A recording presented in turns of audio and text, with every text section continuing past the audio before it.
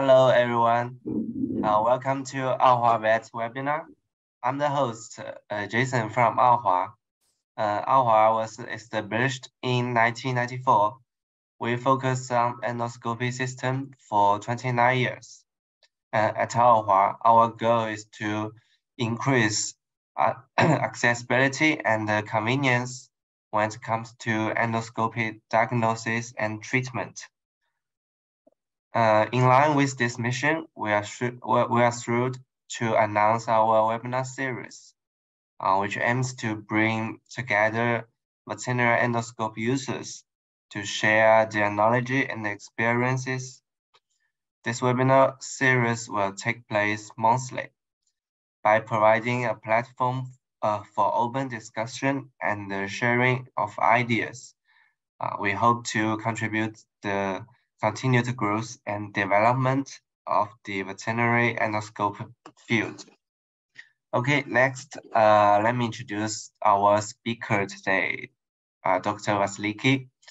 Uh, her clinical interests include canine and feline gastroenterology, uh, nutrition and diagnostic, uh, interventional endoscopy in companion animals, she holds a GP cert in small animal internal medicine and a GP cert in endoscopy and uh, endosurgery from the International School of Veterinary Postgraduate and a PG cert in small animal medicine from Harper Adams University.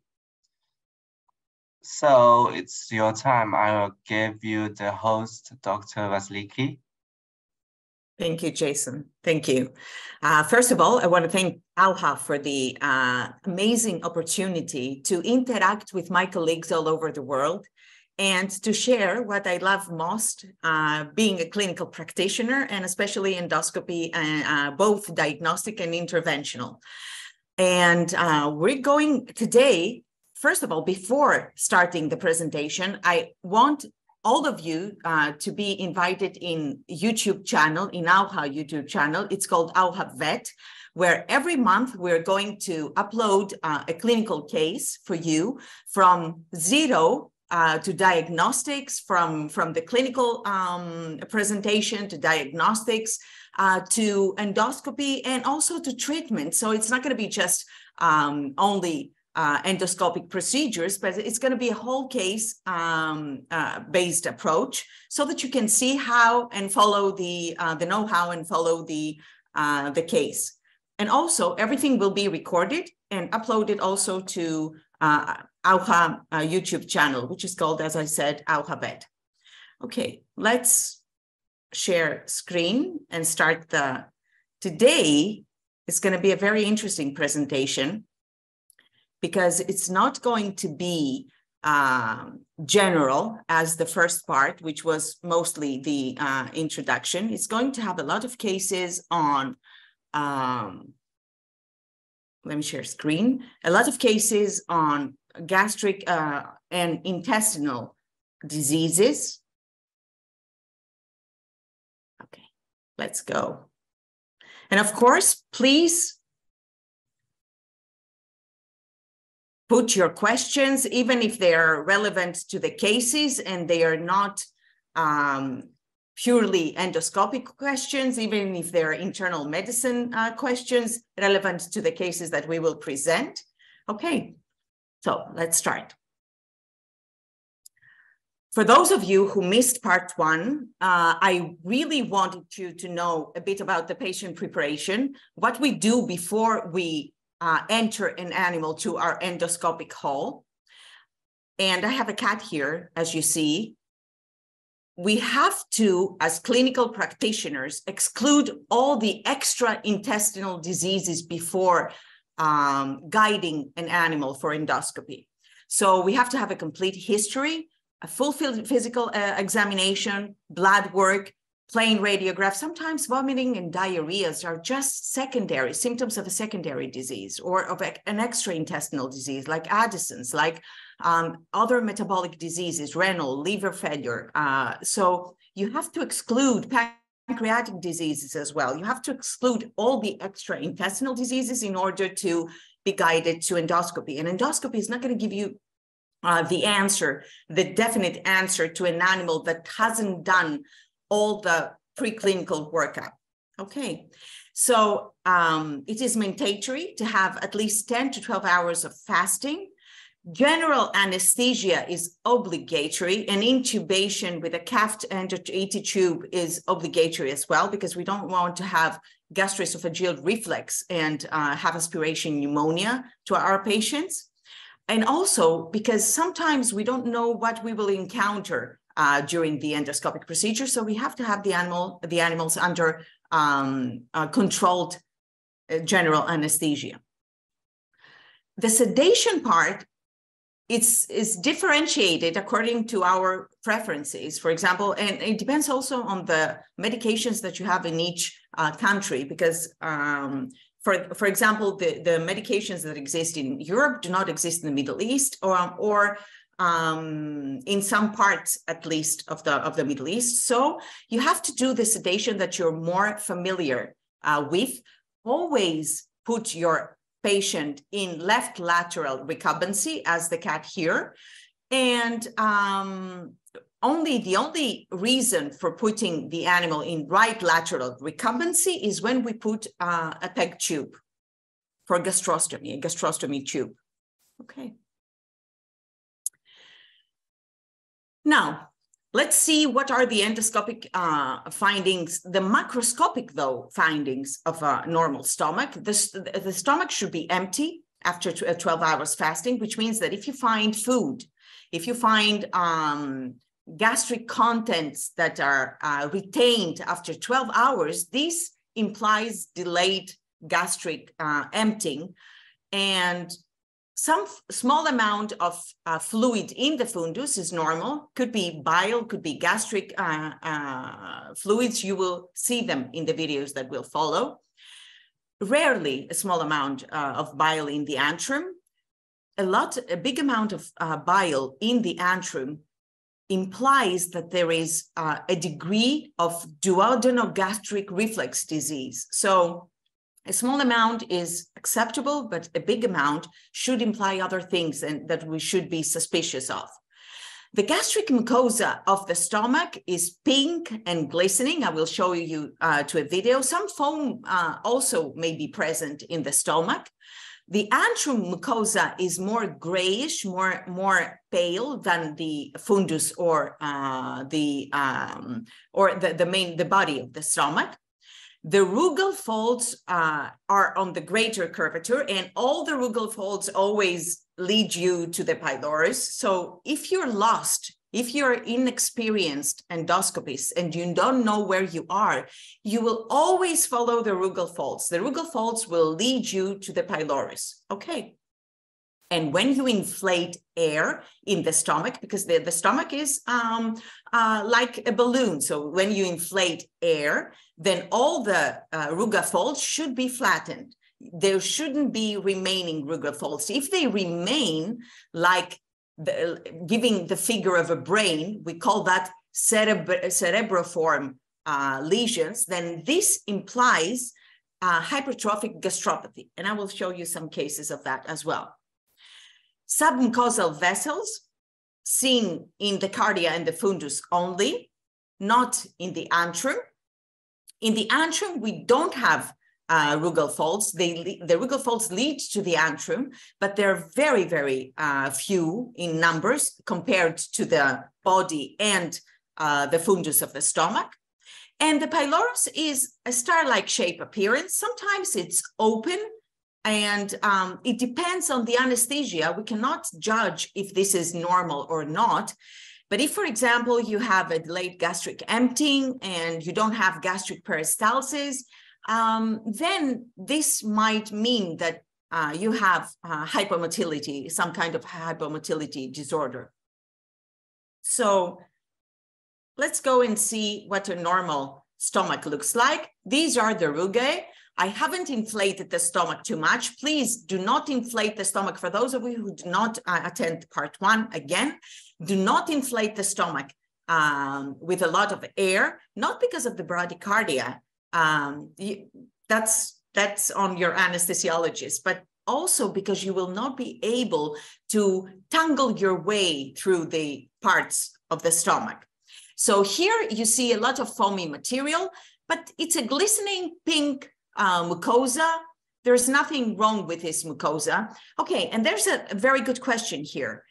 If I don't find any lesions, if macroscopically my stomach is normal, should I take biopsies? Of course, because in the stomach, even if we don't have macroscopical lesions, we may have microscopic infiltration. And as you've seen right before, let me go here again. This is the J maneuver, which means that I'm looking at the cardia. I'm looking at the, uh, this is the esophageal, this was the esophageal sphincter. And um, let me,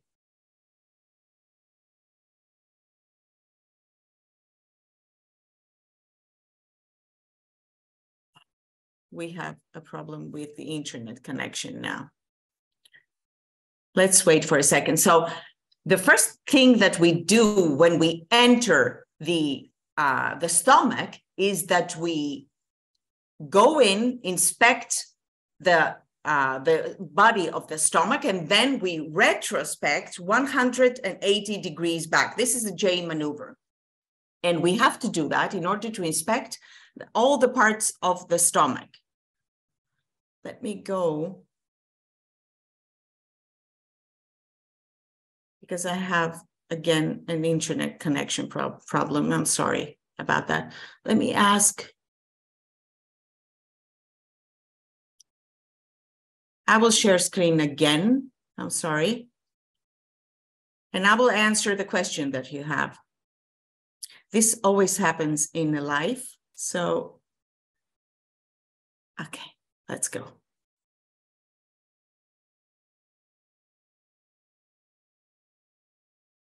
Share screen again. I'm sorry. Okay. I hope that you can see me now. Please uh, go to the chat box and say if you can't see me. So as you see, all the rugae are pink, glistening. What about this lesion here? Can you see this lesion where I point here? This was because of my scope. Sometimes you suck uh, when you when you have the suction, you suck the the mucosa and you leave marks on the mucosa of the of the stomach. So please assess these lesions and know what you have, what are artifacts and what are not. Okay, let's see the chat as well. Okay, can, you can see the screen. Thank you. Thank you, Robin. Oh, hello to Spain. Many, many greetings to Spain. Hello, Vasiliki. To... Yes. Yeah, we are we are in front of the computer. okay, that's great. That's great. Let's see. You're you're watching me um, normally, Robin. No problem, huh? Yeah, it's no so, it's no problem.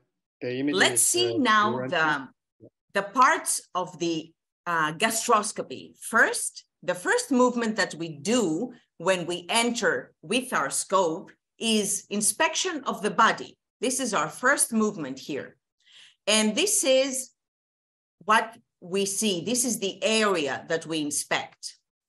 So right afterwards, we do the J maneuver, okay, which is, this is the incisura angularis, which uh, divides the stomach in two parts in the fundus and in the pylorus, in the antrum, actually, in the pyloric region, the antrum. And so we go in, we retrospect 180 degrees in order to do the J maneuver. And then this is the incisura angularis. You see, this is exact, exactly the place that we're inspecting. And actually, this is a very, very important landmark in the stomach because if you don't know where you are and you see the incisura angularis, you know that on the left it's the fundus, on the right it's the pyloric, the antral region. Okay, and then of course it's the pylorus. We proceed into the pylorus. This is an open pylorus here and here as well, a mildly open. And it has these folds, and we will see the significance of the folds in some videos. Okay, now, when we biopsy the stomach, we biopsy from each and every part of the stomach, not only from the parts that you will see lesions. Okay, biopsy, take at least one to two or three biopsies for each and every part of the stomach because you might have different infiltration types. You might have mixed infiltrative diseases. So you should know all of those things. And also in the antral region, this is the region that you will find most of the times the HLOs. The HLOs are the Helicobacter-like organisms. We don't have Helicobacter pylori in uh, dogs. In cats, yes, it has been found, but in dogs, it hasn't been found. And Helicobacter organisms, um, there's a dispute and uh, a discrepancy if they can or can uh, are not able to cause gastric disease. Um, and the bottom line is that they can cause um, gastric disease under certain circumstances. Let's see now. Oh, and another thing is that if you overinflate the stomach, then you will not be able to take good bites, good biopsies. Okay.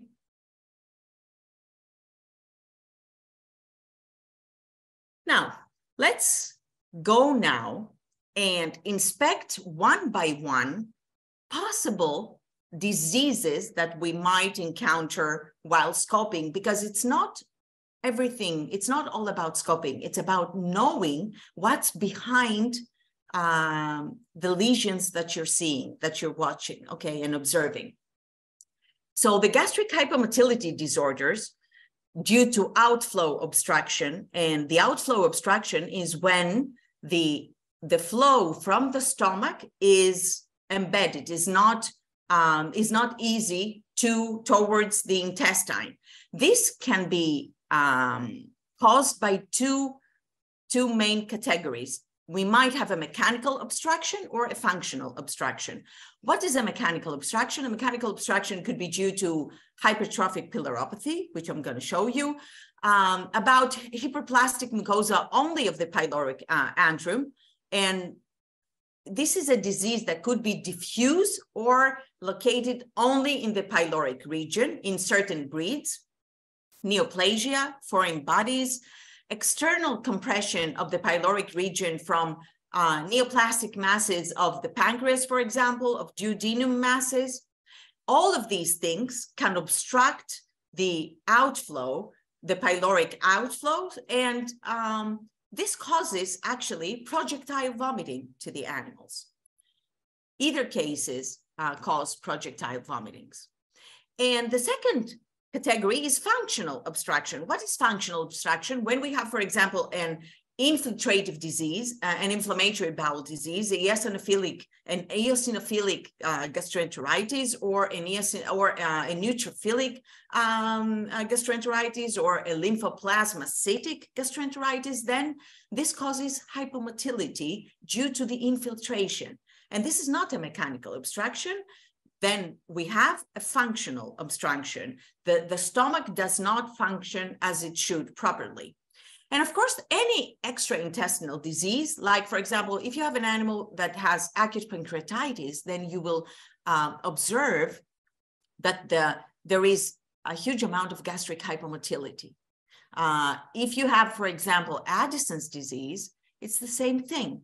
Or if you have, for example, uh, hypothyroidism, hypothyroidism can cause uh, hypomotility disorders. Okay. Now, let's go to the uh, delayed gastric emptying. What do we find uh, as endoscopic findings?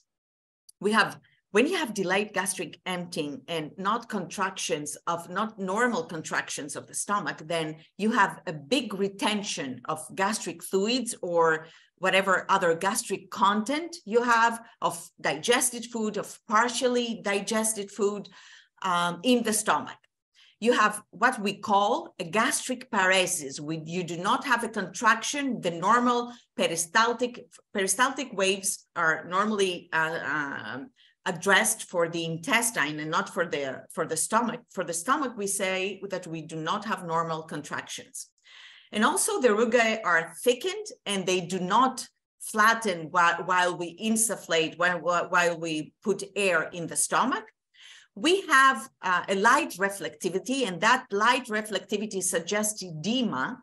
Um, this is the very glistening uh, light on the stomach, which I will show you. And uh, also, let's see, and you might have also uh, some, uh, due to the delayed gastric emptying, you also might have some gastroesophageal reflux disease, and you will see uh, in the cardia that uh, you have um, proximal to the lower esophageal sphincter some signs of esophagitis. Let's, let's see the video. So you will see that this is uh, the this actually, in order to see the, your scope, this is in J maneuver, and you have seen that the, the this part of the fundus was like a brain. This is called cerebriform mucosal lesions, and I have insufflated so much the stomach that the rugae are not visible in this side, but in this side, it looks like a brain. Okay. This actually uh, is hypertrophic uh, gastropathy and not only, not pylorogastropathy. that was uh, hypertrophic gastropathy. And there is this actual uh, disease, which is called, in humans, it is called Menetrier uh, disease. In dogs, we call it Menetrier-like disease, and we have these cerebroform lesions uh, that are mostly in the corpus in the body and the fundus of the stomach, and they're missing from the antrum and the pylorus. So the antrum and the pylorus are um, normal, and uh, we are finding these lesions fo focused mostly in the body and uh, the uh, fundus of the stomach. And this is what differentiates Menetrier-like disease from hypertrophic pylorogastropathy, because in pylorogastropathy, we have an hypertrophic, we have hypertrophic lesions in the antrum as well. So this disease was actually, this is from an article that was published in 2021. It's free access, so you may all have access to uh, have a look at it. It was uh, in a pointer and uh, that had also concurrent granulomatous gastritis, uh, Helicobacter, and leishmaniosis. This has been, this disease has also been showed in uh, a boxer, only seven cases, um, in Old English, at least only seven cases reported, or people who knew uh, what they were seeing and they reported it. Uh, a Westie, three Cairn Terriers, and a Jack Russell Terrier. And um, the main endoscopic findings were the cerebroform, as I told you, lesions that are sparing the pylorus and the antrum. Let's go now to delayed gastric emptying due to mechanical obstruction what can cause a mechanical obstruction? We kind of said the uh, the causes. So it could be congenital thickening of the uh, smooth muscle of the pylorus, and it could be not diffuse, could be only uh, localized in the pyloric region, but also it could be um, a, a, diffuse, a more diffuse disease. Gradually acquired hyperplasia of the uh, smooth muscle of the gastric mucosa, neoplasia, polyps, foreign bodies, of course, mechanical obstruction, and ex extra gastric uh, compression. It's mostly seen in brachycephalic dogs, uh, in boxers, in Boston Terriers, in Maltese, in Pekingese, Lhasa Apso, and Shih and it has been also uh, seen in cats, in Siamese cats. Let's have a look at that. So this is mechanical obstruction due to, it's very obvious, due to a foreign body. And as you can see, the foreign body has obstructed the, it's all in the, it's like a mass in the pyloric region. Watch out for these linear foreign bodies. We're going to talk in another lecture about foreign bodies, but watch out for these foreign bodies that are like, this is tie shoes, I think, um, that we have got out. The linear foreign bodies, some of them could be in the intestine and some, um, and a part of them could be uh, remaining in the stomach. So do not push hardly uh, unless you're sure that the whole linear foreign body is in the stomach. Okay. So this was an obstruction due to this foreign body. You see that the mucosa is uneven. is not normal due to the uh, persistence of the foreign body. So I go in with my forceps and try, try to see, first of all, the tension. So don't go and grab it forcefully, but let's, as a start, try the tension. I have a question here, I think. Let me see. I cannot see the attendees that raise their hands. If they want to talk, please. Who raised their, their hands? I do not have access to the attend. I, I cannot see who raised uh, their hands. If somebody wants to talk, please take the unmute and talk or just pose your question. Uh, Vasiliki, uh, you, you can see the tennis raise hand in the uh, tennis function. No, I cannot, I cannot see that. I cannot see that. I do not know why. Maybe in the more, no. Uh, the attendees cannot speak until you give their. Yeah, but they can, they can actually uh, put their questions uh, in the in the chat or in the Q and A's. Put your questions there, and I will answer uh, simultaneously as I'm talking. Okay. Okay. Now I can see that you raise hands. Let me see. Okay, now I can see that.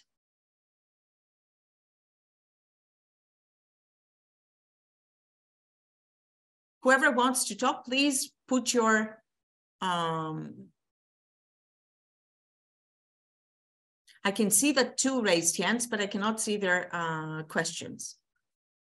Place your, place your questions and I will uh, answer the questions. Okay. Tanya, Nikos, and Nikolai, please. What should I do? Allow to talk. Okay, Tanya. I found the way. Tanya, please talk. Do you want to talk, Tanya, or not? You have to unmute.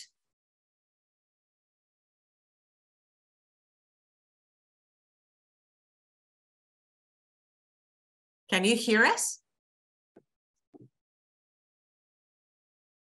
Maybe we, we can put the question in the Q&A.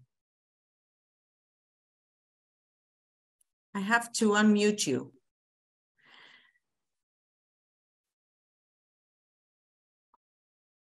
Let me unmute. I cannot unmute. I'm sorry. Oh, here, maybe. I cannot unmute. I'm going to go on. Whoever raised their hands, please uh, put your questions in the chat box and I will uh, I will answer them. Okay. Or Jason, please help me how to uh, unmute these uh, participants. Okay. Okay, I'll, I will help you. Please go on. Okay. So let's have a look at mechanical abstraction due to a neoplastic mass. Sometimes we have mechanical abstraction due to uh, a mass at the lesser curvature uh, here, for example, or at the pyloric region. Let's see here the mass extending to the pylorus. This was actually an adenocarcinoma that was in the lesser curvature and had invaded the whole pylorus. You see the gastric retention when, when you enter the stomach and you see this retention of fluids, then you should be suspicious of something obstructing the pylorus. Okay. And you will see the mass here. So you saw the gastric retention. You see that it's pooling and it's bile actually and gastric contents. And now we're trying to insufflate all the gastric fluids in order to see what's going on.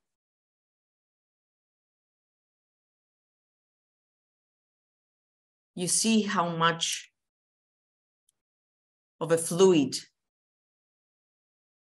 it is there. I do not want to touch the, to speed it up because it might cause problems in the connection again. So we will have to see.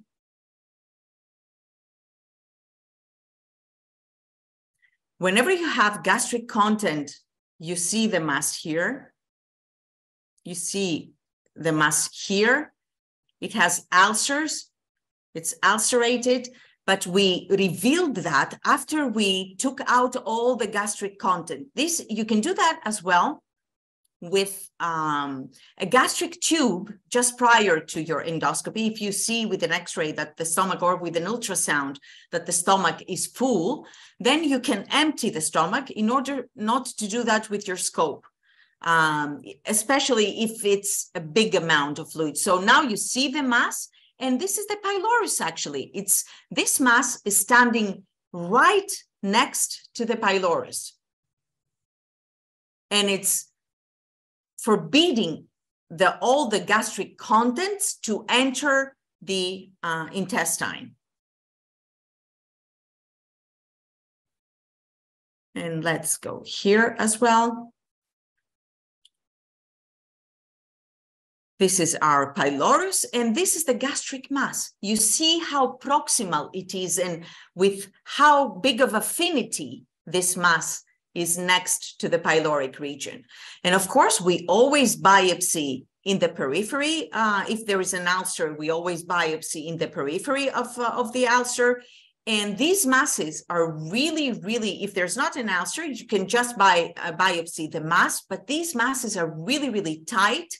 Um, and so sometimes you have to biopsy over the same region over and over again do repeated biopsies in the exact same spot in order to get a very good chunk. And sometimes it's very, very slippery. You cannot biopsy because they are very hard, like a foreign body, like um, a ball, a tennis ball, that hard. Um, so you can go with your forceps, and the forceps, you will see that your forceps is slipping away uh, from the mucosa. Nico, you want to say something? I know please put your, uh, Jason, can you please help uh, Nikos to unmute? Uh, I thought you should uh, allow Nico to. Yes, I did. I did. I allowed to talk, but then I have to ask to unmute, and I cannot unmute. Uh, I thought you it have be to the unmute. same way. You have to unmute yourself. I asked to, un to unmute and it, nothing happens. This is, uh, this is the problem. Yeah, maybe they should allow, uh, they, they should unmute themselves. Yeah. Nico, can you unmute yourself?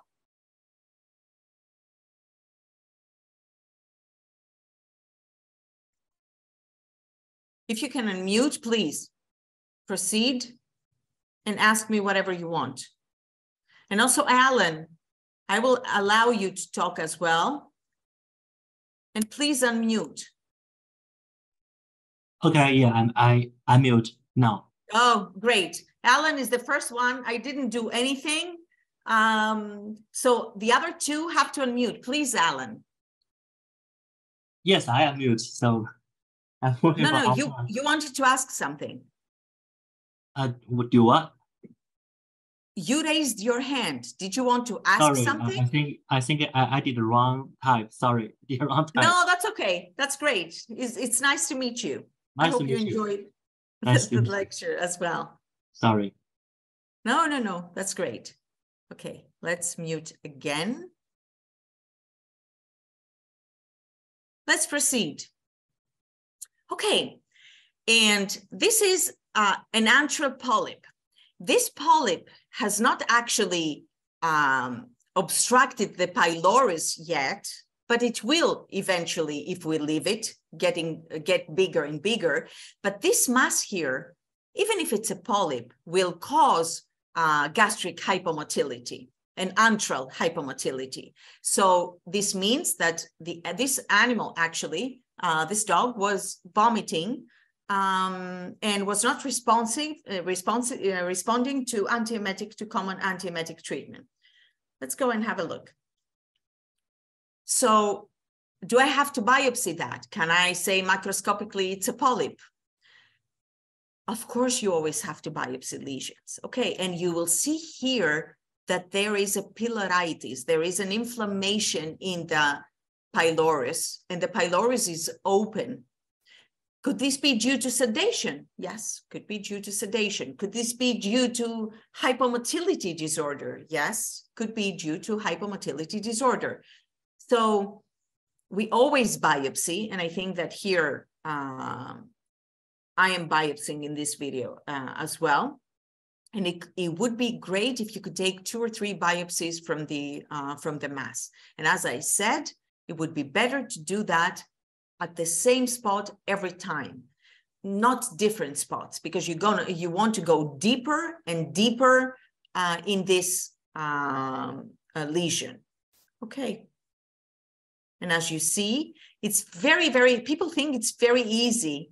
Uh, for polyps, it's easier than uh, adenocarcinomas, for example, because polyps are much less, um, are, are much softer. And also, if you if you watched what I did, is that when I go to the mass and grab it, I take out air from the stomach because I want all the tissue to come up to my forceps.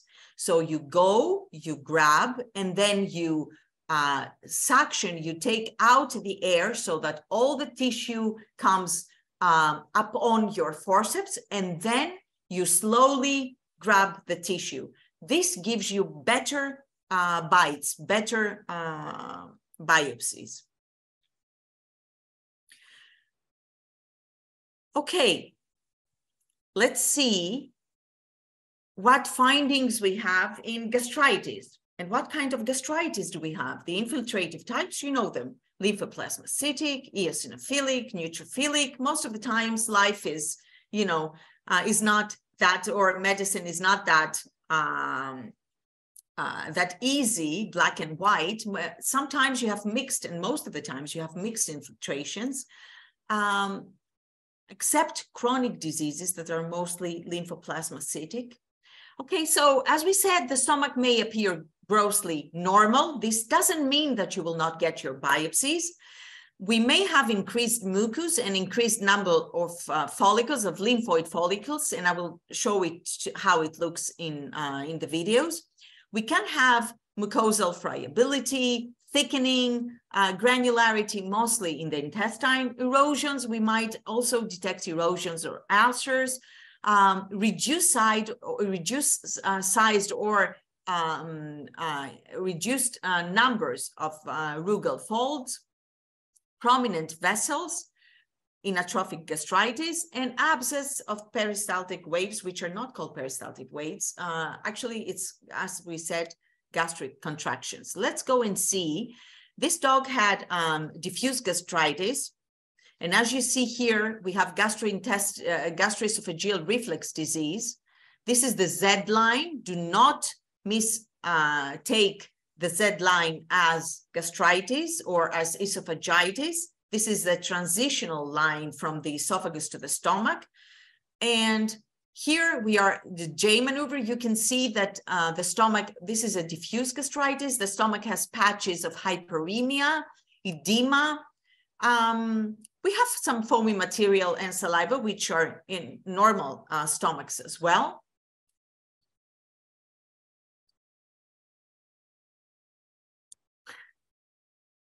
Alan, thank you from the United States.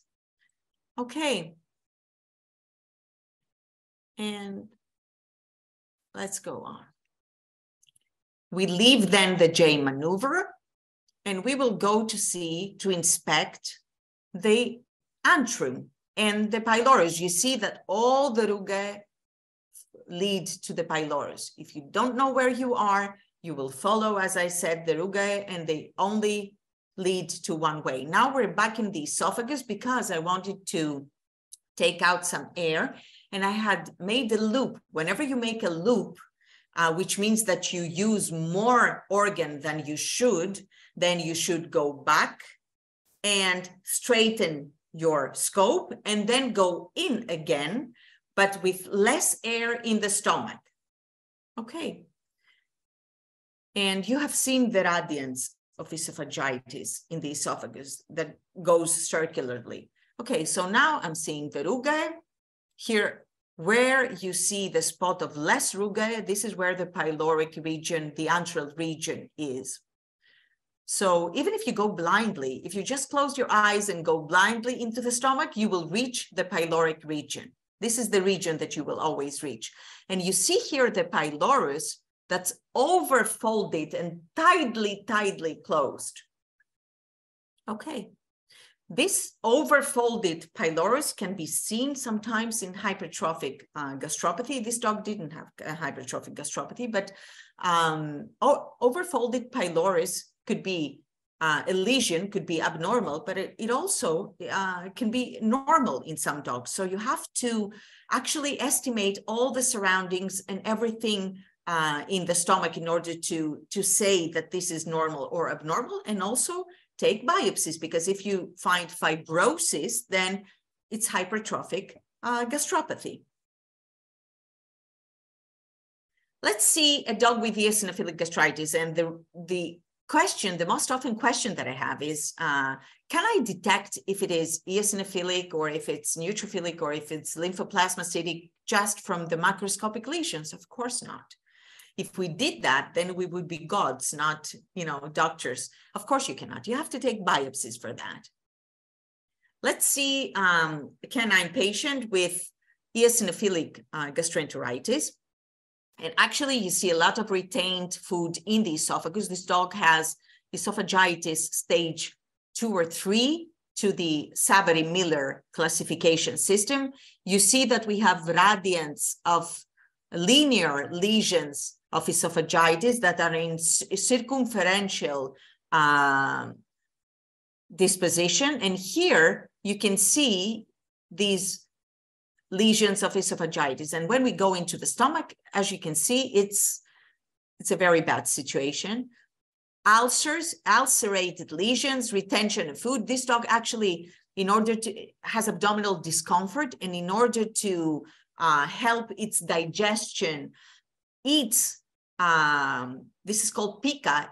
This dog eats everything or licks surfaces. Uh, this is, these are the hair of the of of its owner. So um, licks all the surfaces of the um, of the house. This is one of the primary symptoms of maldigestion disorders, and you can see a lot of lesions, uh, ulcerated areas, and of course, when you and you will biopsy these areas, and this was due to eosinophilic uh, gastritis. Watch out for Rottweilers and for other breeds that could be prone to hypereosinophilic syndrome.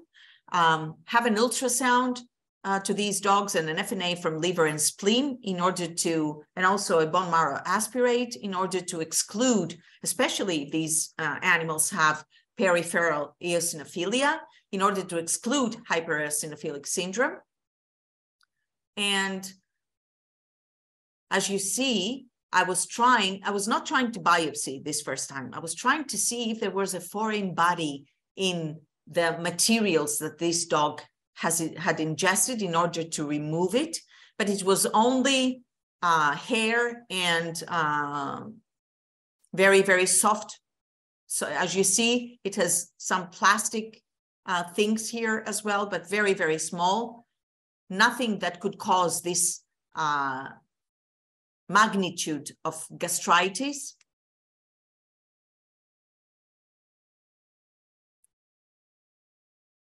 And every time I go to the questions, my videos are stopping, so I'm not going to go. So as you can see, it is diffuse ulceration and it's pretty active. It's ongoing and pretty active.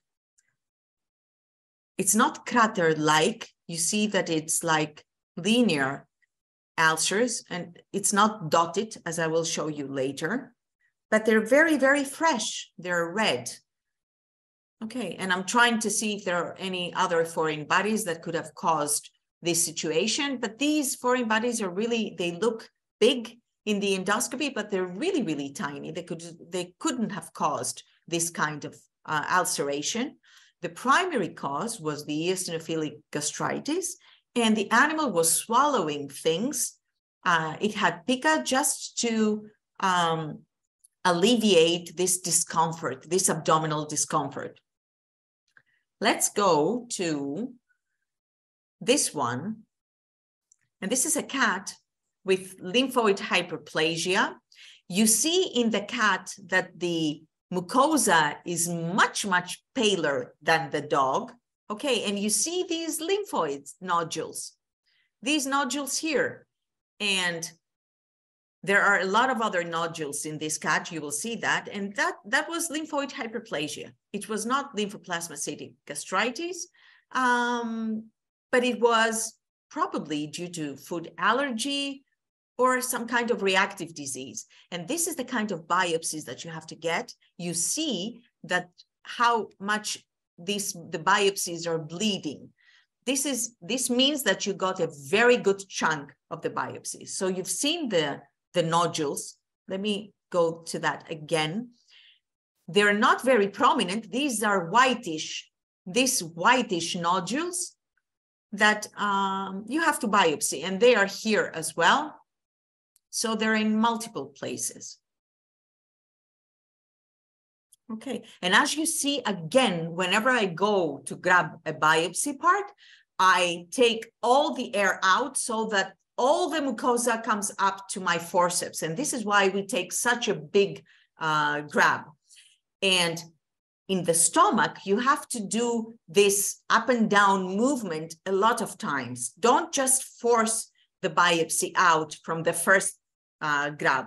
Just give, you know, give it some time. Go up for go up and down with your forceps so that it every so that it's cut evenly from the stomach and not left behind.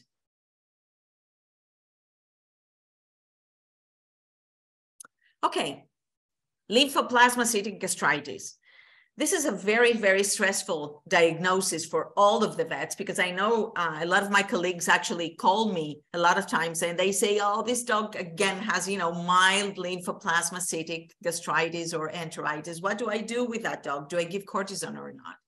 Please, you can have an infiltration of uh, lymphocytes and plasmacytes uh, in the intestine and in uh, the stomach due to other secondary um, due to it could be reactive this is what i mean. You could have another disease and if you have a liver disease for example then the stomach and the intestine could be infiltrated by uh, lymphocytes and plasmacytes okay? So you have to exclude the reactive infiltration in order to say that yes this dog has idiopathic um, inflammatory bowel uh, disease and do not give cortisone in very, very young animals. When an animal comes in, it's six months old or eight months old, it could not have inflammatory bowel disease. Maybe food allergy. It's a more, you know, consistent diagnosis. You see now these red dots. It's like this stomach has chicken pox.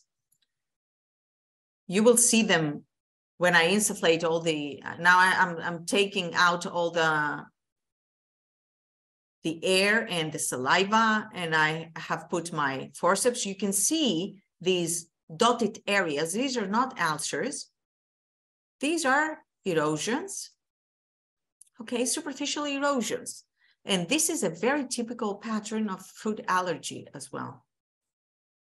I don't know if the, the age of this dog because it's not written here. Uh, we have hidden the, the data. And you see that when we take the biopsy, the biopsy should be bleeding. And it's everywhere, it's diffuse. All these small dots. Okay.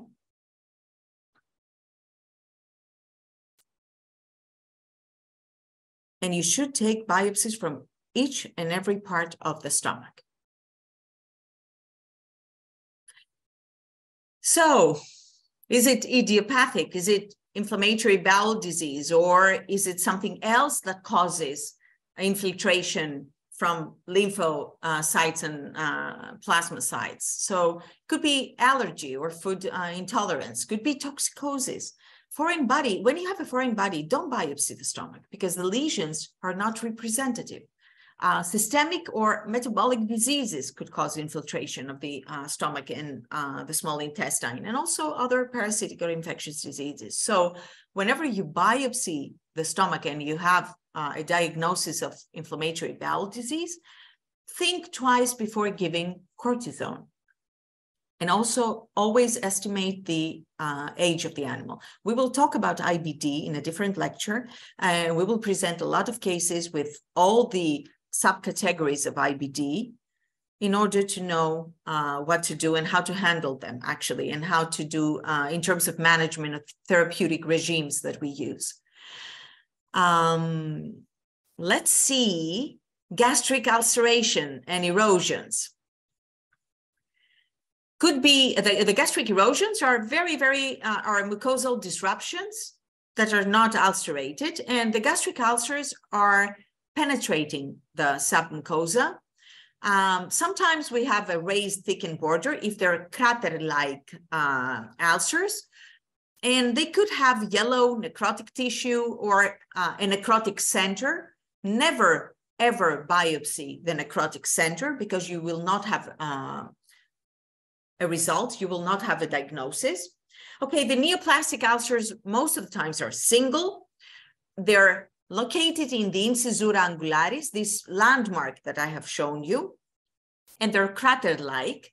The ulcers from uremia and from diffuse gastritis are um, mostly diffuse, as I said, from gastritis are mostly diffuse. For uremia, I have some news for you, but I will leave it for later to tell you. And the ulcers from non-steroidals are mostly in the antrum. So this is the video of a Yorkshire Terrier that only took, that had uh, a patella problem, and the orthopedic subscribed meloxicam in a, as a syrup, and it only got one dose of meloxicam without gastroprotectant. And this is what happened. You can see the ulcers in the antral uh, region, dotted ulcers in the antrum, and there was no duodenal uh, ulcer in this animal. After the first dosage of meloxicam, this dog had fever, hematemesis, and melena, and um, beware of Yorkies. And also, when you want to give non-steroidals, please use some gastroprotection. What kind of gastroprotection should I use? This is another big subject.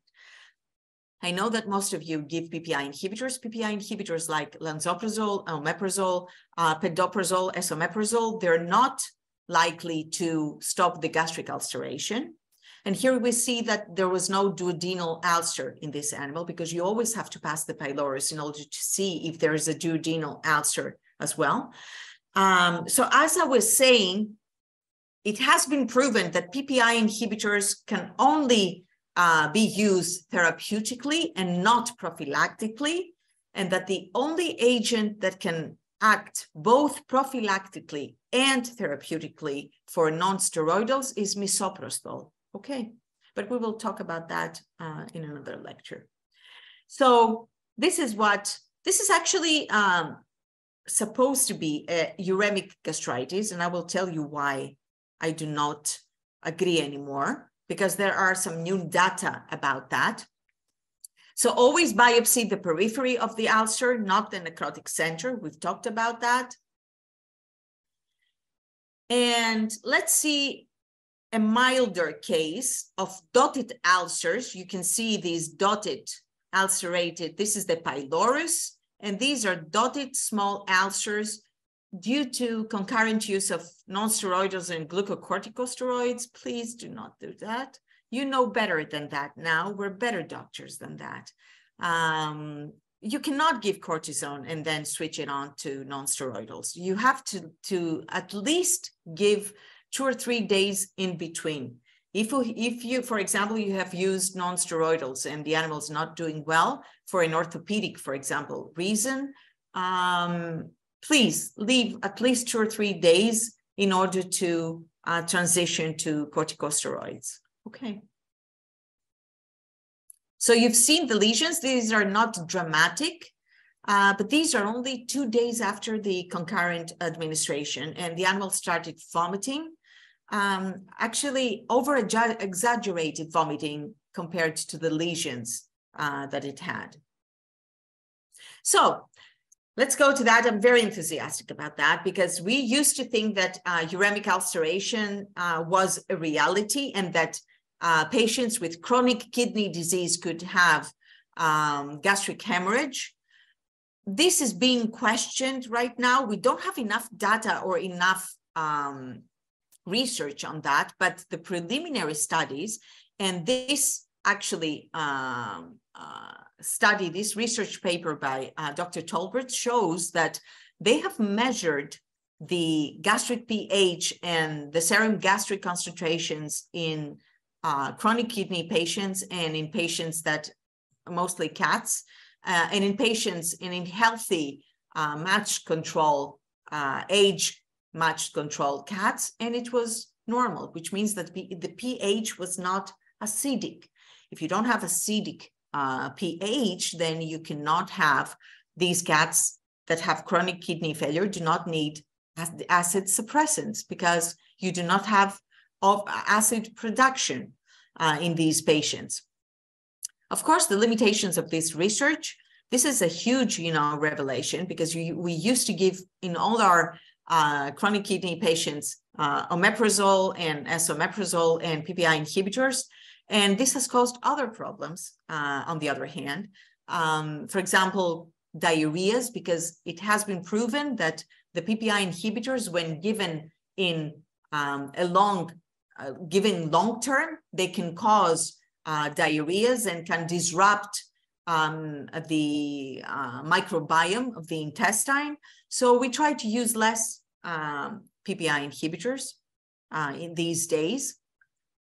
So this is a revelation. We'll see if this is proven over the next uh, years with more research.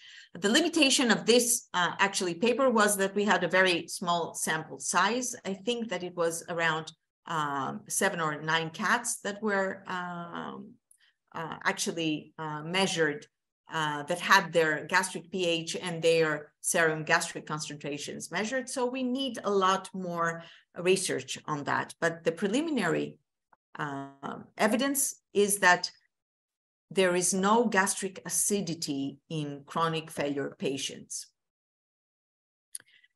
So gastric gastric acid hypersecretion this is from textbooks and now all of these will be you know maybe questioned about the uremia mastocytosis yes because we have the release of histamine gastrinoma the pancreatic tumor yes because we have the release of gastrin and this causes gastric acid uh, hypersecretion and ulceration and in terms of uremia i've already told you that this, uh, these all have been questioned Let's see a gastrinoma, which is a pancreatic tumor. How do we do the diagnosis of gastrinoma? Certainly not with uh, gastroscopy. In gastroscopy, the only things that you will see is deep, deep ulcerations. These patients are severely diseased. They have intractable vomiting that cannot be handled with um, even the most potent antiemetic combination treatment, even if you use ondansetron or dolasetron or maropitant, these patients cannot be treated. They keep on vomiting and they have these uh, very, very bad ulcerations.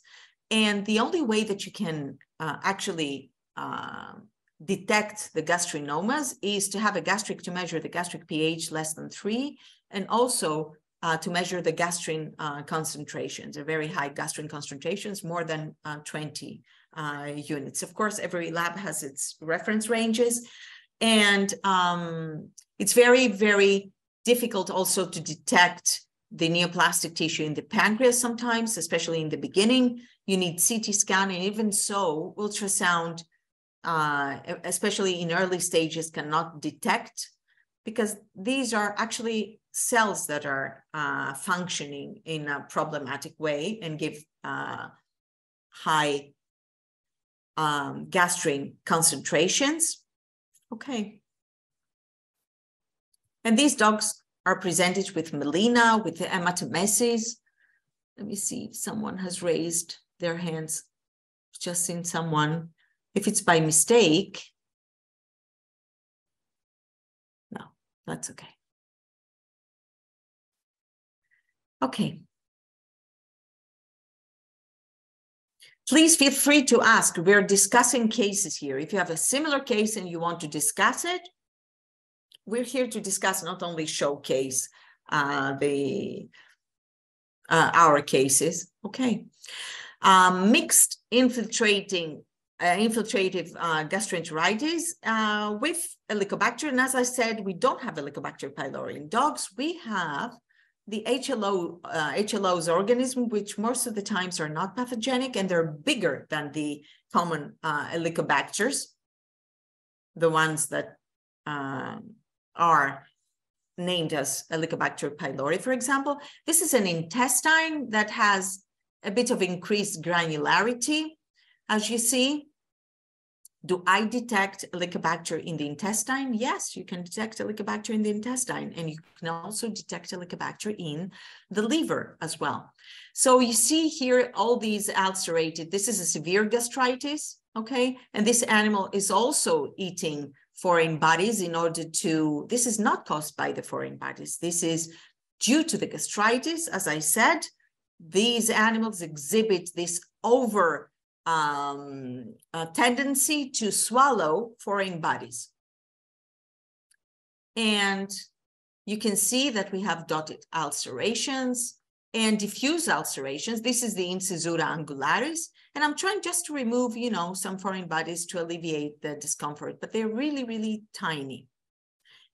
And this was a mixed infiltrating disease, eosinophilic lymphoplasmacytic gastritis, which was um, inflammatory bowel disease, but very, very progressed.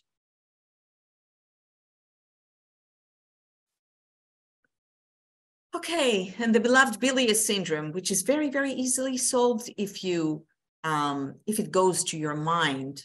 Um, have you ever had these small Maltese dogs, you know, that their owners complain that they have green uh, vomiting spots on their carpets every morning? This is bilious syndrome. Okay.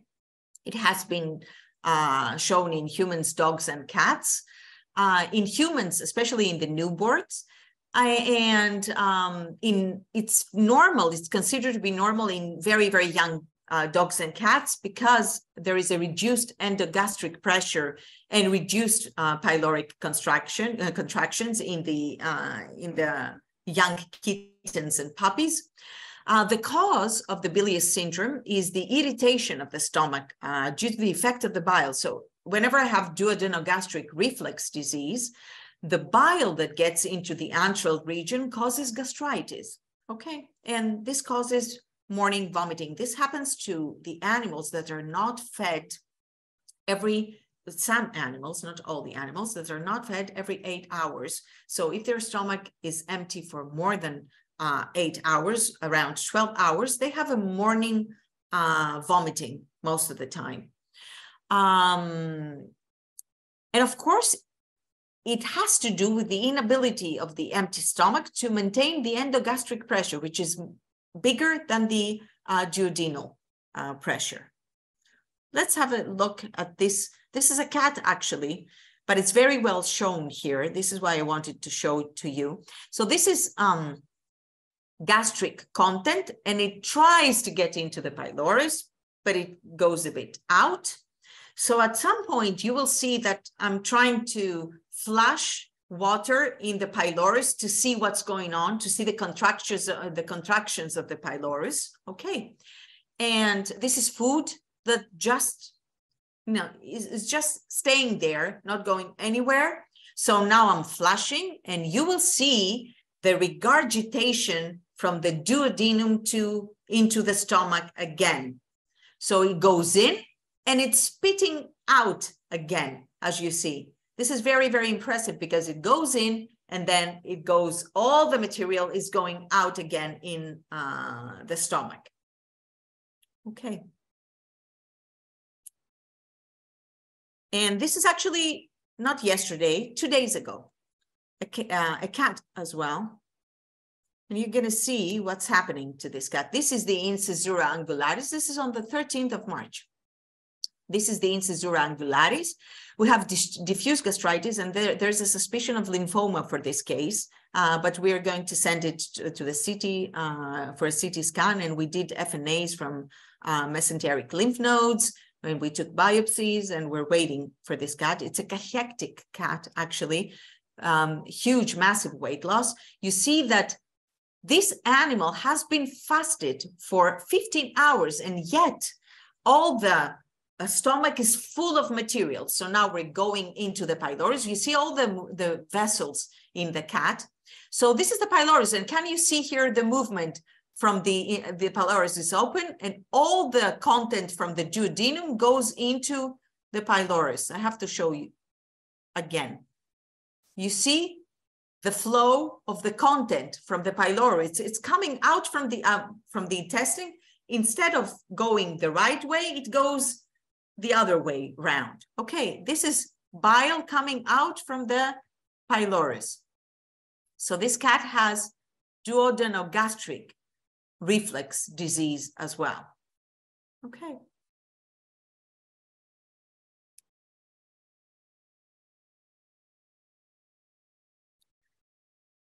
Gastric neoplasia, lymphosarcoma, adenos adenocarcinoma, lymphoma you will not see it in the stomach like that. It's a diffuse disease, intestinal lymphoma and gastrointestinal lymphoma. You will only diagnose it with, most of the times, with full thickness biopsies of the intestines and FNAs from the mesenteric lymph nodes or from the spleen if it's multicentric from the uh, liver. Um, this is how you diagnose lymphoma. But for lymphosarcoma, uh, where we see thickening and irregularity in the mucosa, adenocarcinoma, which is a very defined mass, ulcerated mass most of the times in the incisura angularis and the polyps that I show you later, you can have a preliminary idea from your endoscopic picture. And that's one month ago. Um, that's a very, very, that's a Westie that hasn't lost any weight, but had um, periodical vomitings and anorexia episodes. So we got in, and this is a very, very early stage of adenocarcinoma. Most of the times we do not catch these, the disease. You see the ulceration here, and it's very, very well defined. This is the, this is the crater of the ulcer, and it's in the incisura angularis. Again, no pyloric uh, infiltration in this case. This is a very early stage. Most of the times, I will show you how we find these uh, carcinomas. And you see the alteration of the mucosa here. The mucosa has been, to has totally, the gastric mucosa has totally lost the, uh, its normal structure. So most of the times, when we see adenocarcinomas, are like that. And right now I'm I'm thinking about how often I see adenocarcinomas, at least three times every month. So you see this deep, deep ulcerated area. This is a huge adenocarcinoma of an animal, uh, of a Sharpei actually, and we have this uh, case in Aohua Vet. Please visit to see the whole case uh, when we finish. Uh, you see the alteration of the mucosa here. Uh, the mucosa uh, is totally um, is, is totally abnormal. And there is uh, also an infiltration of the pyloric region. Um, this dog had to endure total gastrectomy, which was not possible. Um, and you saw how big the ulcer and how deep the ulcer was. Have a visit in Aohua Vet and see the whole case and what we did. This is how most of my adenocarcinomas look. The prior case of the Westie was an exception. It was not the norm.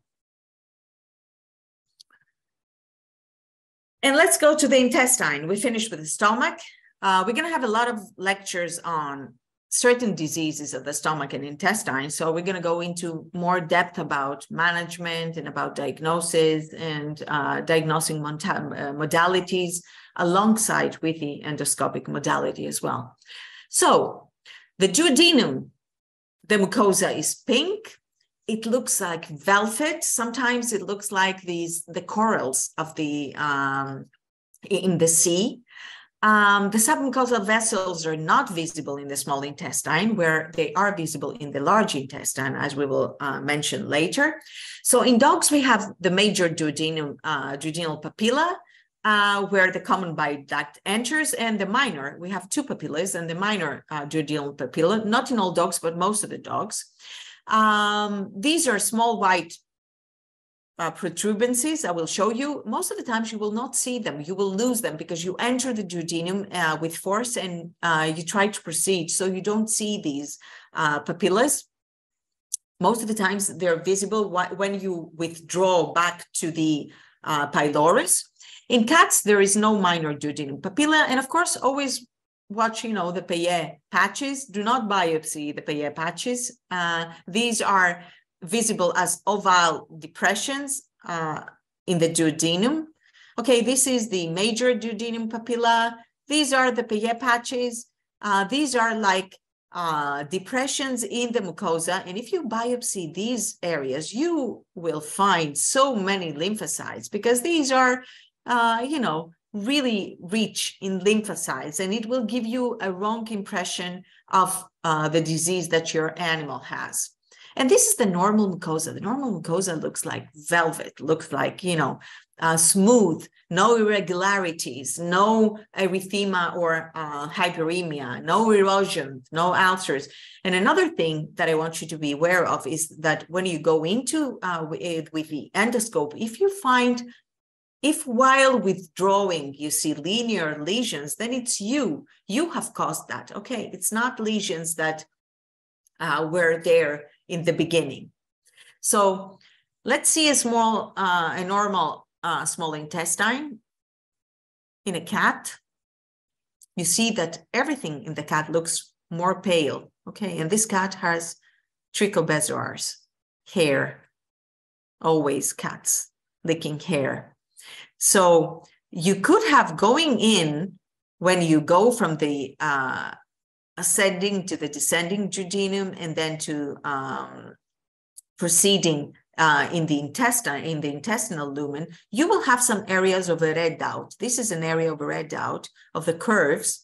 Um, in order to find your lumen, and you should always get into your lumen. There are two biopsy techniques. The first biopsy technique is the blind one that you just proceed your forceps up until you don't see your forceps and it makes a curve. And this was a peristaltic wave now that you saw in the intestine. So you proceed your forceps up until you do not see it anymore. And you take blindly the biopsy. Most of the time, this is the way, this is the, the one that I'm showing uh, to you now. I'm just proceeding with no visibility. I don't like taking these kind of biopsies because they're smaller you do not know where you're biopsying. And most of the times your your biopsies are really really small.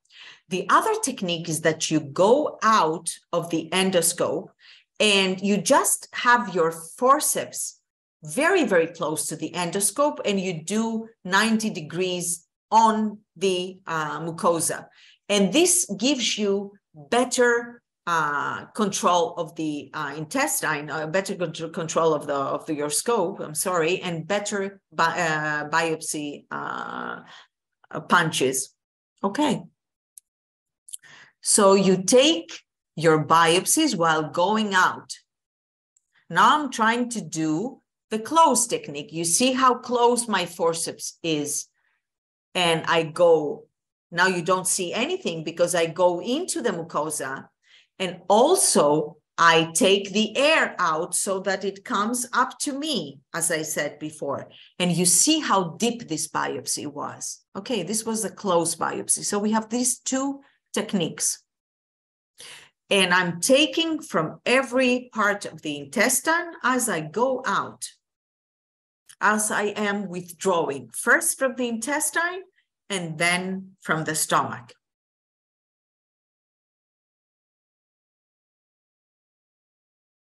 Okay. Why do I take biopsies if I say that this intestine seems to be normal? Because I have to. You will never, never uh, have the chance to do it again. So you will take your biopsies and you will send them, even if you don't see any microscopic lesions. Okay, and then I withdraw to the pylorus, back to the stomach. You see some glistening. This is this is a bit edematous because it's very, very glistening and it shouldn't be that glistening in the intestine. Okay. And this is the procedure. We withdraw a bit, take a biopsy. We withdraw a bit and take a biopsy sample.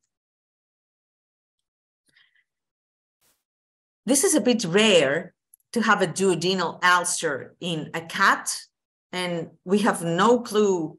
Uh, this was a neutrophilic ulcer, actually, maybe due to a foreign body that was preceded. This is duodenum, and you see a big ulcerated area in a cat, maybe due to a foreign body because it was a neutrophilic, uh, it had a neutrophilic infiltration. It was not neoplastic. Okay. So we tried to take a biopsy, sorry, from the periphery uh, again. You see how deep the ulcerated area in the duodenum is, and this cat was not on non-steroidals. So you always have to ask about toxins, about drugs, uh, administration of drugs, about everything. Inflammatory diseases, infiltration of lymphoplasmacytic, um, uh, lymphoplasmacytic infiltration, eosinophilic infiltration, uh, neutrophilic infiltration, or mixed infiltrations. What do we see? Most of the times we see granularity, increased granularity, friability, hemorrhages, erosions, uh, reduced peristalsis. Beware of the linear hemorrhages, as I told you. Let's have a look. Can you see these white membranes? You see the irregularity. These are not digested, uh, undigested materials, and it's not uh, lymph. Uh, you, because you will see that the same material is in the stomach as well. Uh, so we see an irregularity of the mucosa, and this is a mild case. We have more prominent cases that I, I will show you. So you withdraw and take biopsies, withdraw and take biopsies. Here the area is a bit better. And then you go out to the pylorus. Let's see some more severe cases. Okay. And if I show you the next three videos, can anyone tell me which one of them is progressed IBD, lymphangiectasia, or lymphoma? No, you cannot endoscopically. They're exactly the same, exactly the same. Severe IBD, lymphoma cases, and lymphangiectasia sometimes, because with lymphangiectasia, we can have other clues as well, have the exact same um, microscopic image. So let's see that one. This is a severe uh, IBD moderate to severe. The lesions, the infiltration that came out was moderate to severe, lymphoplasmacytic. And this was one of the, uh, and also this, this uh, dog had low albumin uh, count as well, low cholesterol. You always measure these in intestinal diseases. You've seen how irregular the mucosa is Lymphangiectasia, always look for the secondary. Um, for we have the primary lymphangiectasia, which is idiopathic or congenital, and we have the secondary. The secondary lymphangiectasia could be uh, localized in the intestine uh, due to IBD, due to small intestinal neoplasia, like lymphoma, for example. Um, and also, you should always check if you find intestinal lymphangiectasia, then you should always check the heart. Uh, maybe we have a congestive heart failure, or we have some some uh, other kind of uh, diseases, and these are the breeds, especially the Yorkies and the Rottweilers, are very very prone to lymphangiectasia cases. And this is the lymphangiectasia. And what are the uh, case? Uh, what are the endoscopic? You see here the lacteals, uh, multiple white spot indicating uh, that we have dilated uh, lacteals. We have these white spots and also these whitish spots. Most of the times when you go into uh, and scoping a lymphangiectasia case, you know that it has lymphangiectasia. Um, but you trust trying. We have a normal peristalsis as well. Um, never, ever scope an animal that has a recent meal because it might look like it has lymphangiectasia due to the dilated lacteals. Okay. And of course, this animal had small intestinal diarrhea. Very low albumin count, protein losing enteropathy.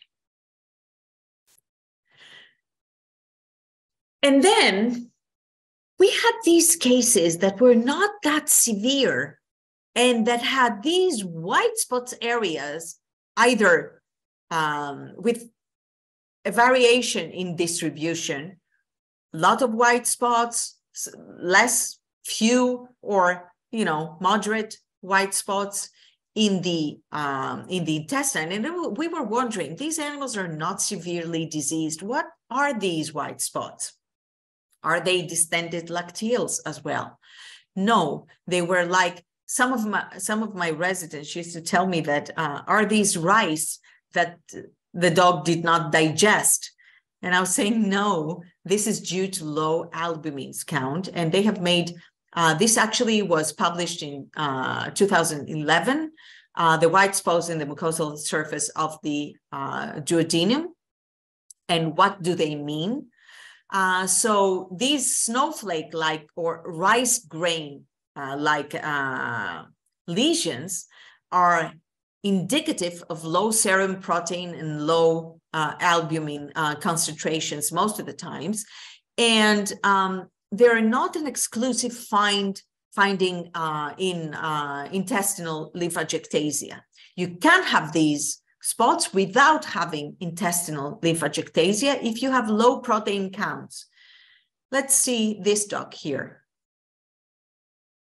This is pretty, pretty amazing. This is extraordinary. Do you see these white spots? So this dog does not have lymphangiectasia.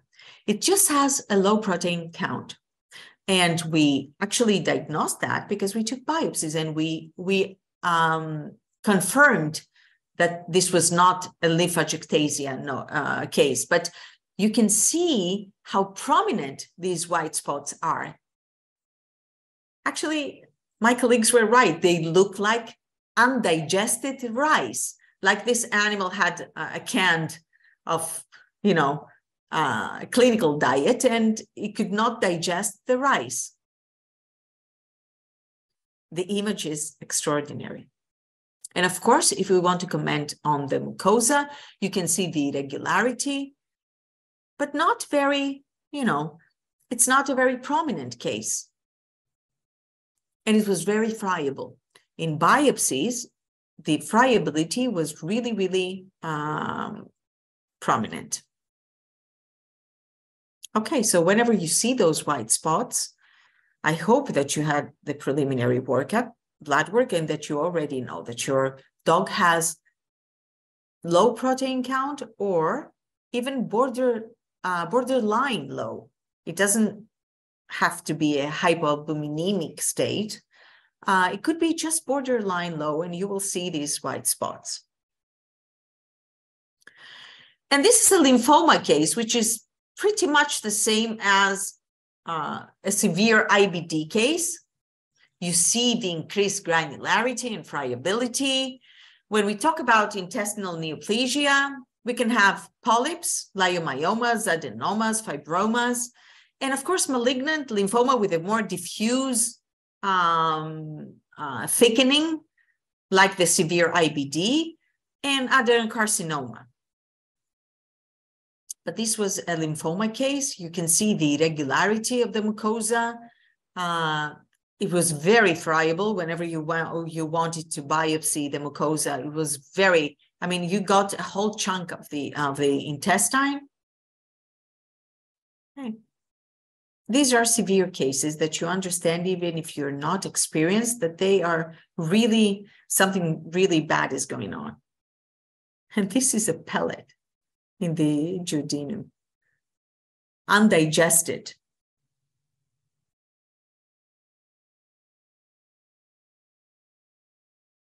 Okay, this is pretty amazing picture. Let's go and see what happens. And I think that's pretty much my last case. You can see this case as well in Aohua Vet. Uh, this was a case of a dog that had intestinal obstructions uh, from a seed, from a fruit seed. Um, sometimes when you have intestinal obstruction, you can miss it in the ultrasound, but you will have an animal that has that starts have uh, that starts getting hypoalbuminemic. Uh, you will see in the ultrasound the intestinal uh, in the intestinal loops the content to be uh, regurgitating, to be going back and forth, and not to be proceeding. And you will have gastric retention of fluids and also um, intractable vomiting and projectile vomiting. The animal will not be able to digest anything. So, as you may see, this is severe esophagitis, stage three, because it's in circular forms and in linear forms up to the um, pharyngeal esophagus. So this dog has been vomiting for more than two weeks, and it, this has caused severe um, esophagitis. And you will, of course, no ulceration, but when we have linear lesions in the circumference, then this is stage two to stage three. And you will see now with Aohua um, endoscope, we have the ability to turn the hemoglobin on. It's very prominent. And now that it's on, this is the hemoglobin enhancement, then you can see better the esophagitis status and all the erosions and lesions. Okay, now they're very, very clear to you. And it's up to, it's throughout the length of the esophagus. So if we go into the stomach, you will see that we have huge gastric retention. And you say something is wrong. I mean, this gastric content, it's like a pool. There's somewhere there is an obstruction. Is it in the pylorus? Is it in the intestine? This is something that you will find out. And when we, it was not in the pylorus. So when we went into the intestine, you see that the intestine is pretty normal. This poor animal has not, not an intestinal disease. Give me some minutes to, to have the vision cleared because we have a lot of retrograde movement of the um, of the intestinal uh, fluids of the duodenal juices because they cannot be forwarded. So I have always to suck, and this is where the foreign body is embedded. And this is a seed from an apricot, I think. Can I take out, can I retrieve the foreign body from the intestine? Don't ever do that. No, this is a surgical case.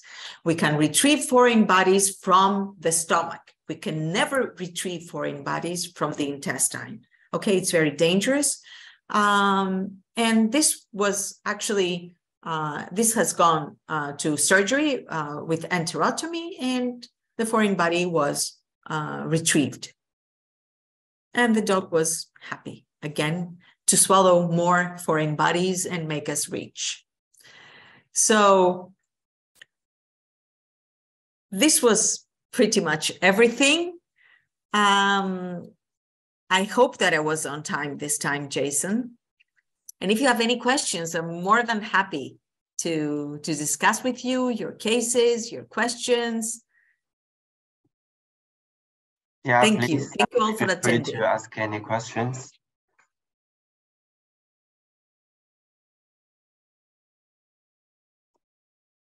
Um, well, uh, maybe you can learn more things uh, after the uh, after our webinar. Uh, we have Facebook, uh, YouTube channel, and LinkedIn, and we also have some uh, clinical cases in our YouTube channel. You can search Aohua Vet uh, on YouTube to subscribe us to uh, find more clinical knowledges.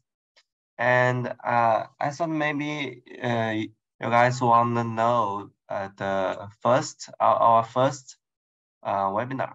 Uh, maybe you missed it. Don't worry, we will upload uh, our webinar record on our YouTube channel. And the first webinar record has been uploaded.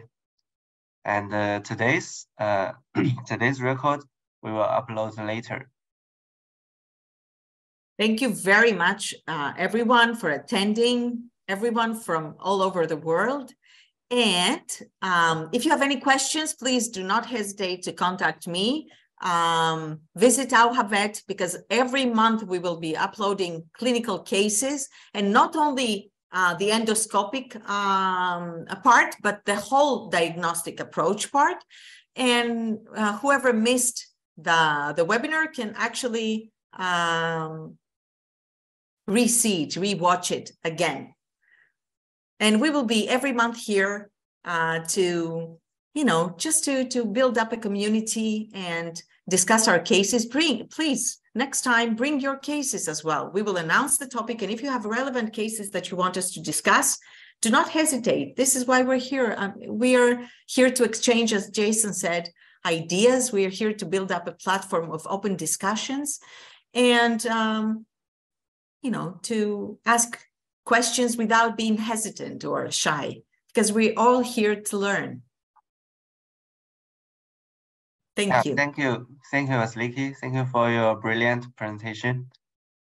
So hope we will meet next month.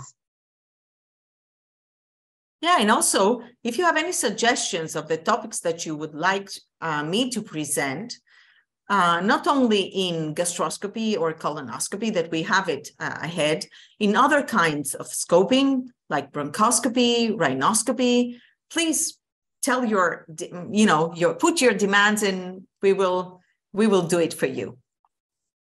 Yeah, please contact us. Uh, our uh, each channel you like on Facebook, LinkedIn, on YouTube. So today, uh, today is over. Thank you, everyone. Yeah, thank you. Greetings from Greece, and I will see you next month. I do not know from which point of Earth I will be, but in which country I will be, but we will be together.